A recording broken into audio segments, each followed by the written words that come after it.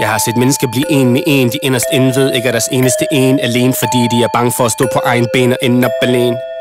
Set mennesker sætte ring på en finger Hvis ringen besidder mere værdi end den tillid de til forholdet bringer.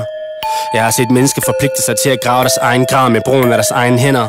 Jeg har set de stærkeste mennesker bryde sammen mentalt Give slip på et livslangt venskab For falsk tryghed, men prisen var at vaske gløden i deres blik væk og tæmme deres vildskab jeg har set mennesker blive en med en Der knuste deres øjne, fjernede deres syn og gav den evige men.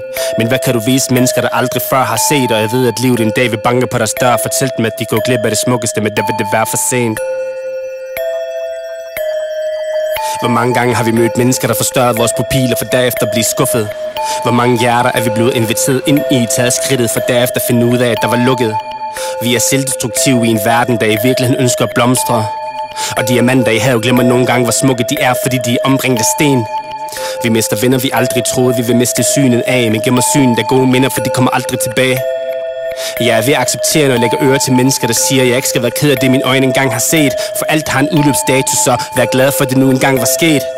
Så jeg giver slip på dem, der giver slip på mig, som vejer i spejl Og forøler for første gang, min øjne ser klart efter hjælp fra en smule regn. Vi er ikke udødelige, og det er ikke den stærkeste i blandt, der overlever Men den, der med åbne arm er villig til at omfavne nye tider.